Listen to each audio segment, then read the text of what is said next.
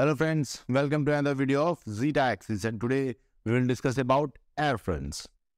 In our previous video, we have seen that different kinds of air masses are formed based on the characteristics of the region below them. If it is cold, then we see cold air masses formed. If the region below is hot, then we see hot or warm air masses formed.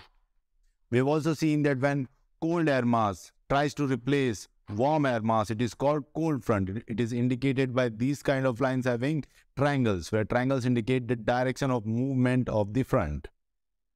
Similarly, when warm air mass replaces cold air mass, then it is called warm front. The boundary is called warm front it is indicated by these kind of lines having semicircles on it, where the semicircle indicates the direction of movement of front. Similarly, we have the third front, which is called occluded front, where a warm air mass is trapped between cold masses on both the sides, and slowly over the time, the cold air masses are able to uplift the warm air mass and it loses contact with the ground. And such kind of fronts are called occluded front, which are indicated by these kind of lines where there is the alternate of triangle and semicircles. Now we will discuss the fronts in detail. So first front is cold front and we will discuss what kind of processes or phenomena occur on these fronts. So in our previous video, we have seen that when a cold air mass tries to replace warm air mass, it is called cold front and it is indicated by this kind of lines. Here in this example, we have a cold air mass which is moving and replacing the warm air mass. Now because this cold air mass is very heavy compared to the warm air mass, it is easily able to uplift the warmer air we can see that at this front, this is the cold front. We see that at this cold front, there is rapid rise of warm air. And because warm air has moisture, we see formation of clouds over here. These clouds are generally cumulonimbus clouds which give lots of rain. Therefore, the cold fronts are associated with heavy rain. Sometimes thunderous clouds, which are large cumulonimbus clouds are formed over here they give a persistent and very heavy rainfall in these regions. You can see an example of this. Therefore, the cold fronts are associated with heavy rainfall. Now let's see details of warm front. We have already seen cold front, now we will see warm front. So in warm front, a warm air mass moves towards cold air mass replacing the cold air. It is indicated by this kind of line having semicircles where the circles indicate direction of movement of the front. Now here in, this diagram, we see this is the cold air mass and this is the warm air mass. Remember, cold air is more denser, therefore more heavier, while warm air is less denser, therefore lighter. So the warm air is not able to displace the cold air as the cold air is able to displace warm air. Therefore, there is a very slant or very slow movement of this warm air mass which moves it slowly. There is a very smooth, gentle slow formed at this boundary. So at the warm front which is over here, we can see that air slowly rises up smoothly over this slope. Clouds are also formed at this slope. We see that as these clouds move upper and upper, they form changes. This warm front is spread over a very large region. And because the upliftment of air is very slow, therefore we do not see that much rain. Rain does occur on these fronts, but it is relatively less compared to cold fronts. Moreover, this front affects a very larger area because the distance from here to here is very large compared to the cold front. Another phenomenon which occurs at warm front is that sequential clouds are formed. Here in this diagram we see that the clouds at the lowest position are formed and when they move up slowly their form changes. They change their structure and their shape. At the lowest location, we get nimbostratus clouds. Then we see altostratus clouds. These clouds further change as they move higher the slope, they convert into cirrostratus and then cirrus clouds. So, sequential clouds are formed in this warm front and they move along this slope. Now let's see occluded fronts. We have already seen that occluded fronts are formed when warm air mass is trapped between cold air masses on both sides. Slowly, the cold front is able to uplift the warm air mass uh, from the ground. As you can see here, the warm air mass has lost its contact from the ground. these kind of fronts are called occluded front. And it is indicated by these kind of lines. So there are two types of occlusion, warm occlusion and cold occlusion. In warm occlusion, we see that the coldest air mass is on the right side while a cooler air mass is trying to move towards it. In the cold occlusion, we see that cool air mass is on the rightmost side and cold air mass is trying to move towards its direction. Now let's see the difference between two one by one. So first we will take warm occlusion. In this we can see that here we have a cool air which is moving and there is a warm air. So we see a boundary is formed and this is like a cold front boundary. So the air is rapidly uplifted over here forming cumulonimbus clouds. While at this juncture we have a warm front and the air is gently moved along the slope forming other types of clouds which give less rain compared to the cumulonimbus clouds.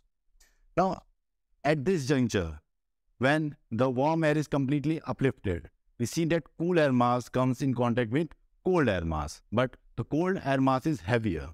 Therefore, when this cool air mass moves further, it gets uplifted. Now here we see that cool air mass is moving up. Now we see a gentle clouds are formed like clouds are formed at the warm front. Now what happens in cold occlusion, we see that the cold air mass starts to move towards here where there is a warm air mass. There is a rapid upliftment of warm air. Here we again see a warm front-like structure where we see a gentle slope because warm air mass is trying to replace the cool air mass. So we see a warm front-like structure where the air rises slowly and smaller clouds are formed which give less rain. But when we reach the juncture of these two, the cool air mass is lighter compared to the cold air mass. So the cold air mass is able to uplift the cool air mass. And we see that here again, cumulonimbus clouds are formed as well as other simpler clouds are also formed. So we see that here both types of clouds are there. While in the warm occlusion, we saw only one type of clouds.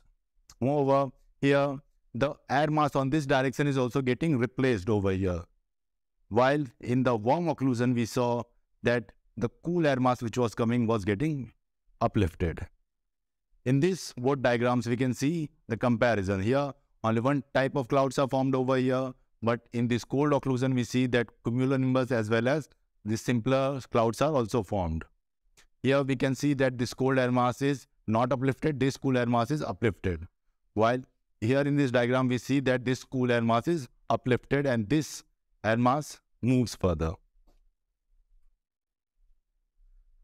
Now let's do some quick comparison of warm front and cold fronts. The first characteristics we will see is speed of the front, how fast these fronts move. The cold front is very fast compared to the warm front which is slow. The reason is that in the cold front we see the cold air is moving which is heavier compared to the warm air. Therefore this heavier cold air is quickly able to uplift the warm air. But when we come to the warm front, we see that the warm air is moving. Now warm air is lighter compared to the cold air. Therefore, this warm air is not quickly able to uplift the cold air and therefore it moves very slowly. Let's see what kinds of air are replaced. At the cold front, the cold air mass replaces the warm air mass. We see that this air mass will move and Wherever there was warm air mass, it will be replaced by cold air mass. At the warm front, the warm air mass replaces the cold air mass. Air uplifted. At the cold front, we can see that the warm air is uplifted because warm air is lighter than the cold air. Even at the warm front, we see that the warm air is uplifted because again, warm air is lighter compared to the cold air. Rain. So how much amount of rain occurs at these fronts? At the cold fronts, we have seen because of the rapid rise of these warm air, a large cumulonimbus clouds are formed, which gives a lot of rain. There is a very heavy rainfall at these fronts. While at warm fronts, we see that the clouds are evenly spread over a very large area and they do not give that much rain. Therefore, the rain is very heavy at cold front, while the rain is less to moderate at the warm fronts. The next characteristic is type of cloud form at these fronts. At the cold front, because the air rapidly rises, we see cumulonimbus clouds formation, which gives very heavy rain. While at the warm front, we see sequential clouds are formed. The clouds which are formed at the front are nimbostratus and as they move, they transform into different types. We can see here that there are different sequence of clouds over here.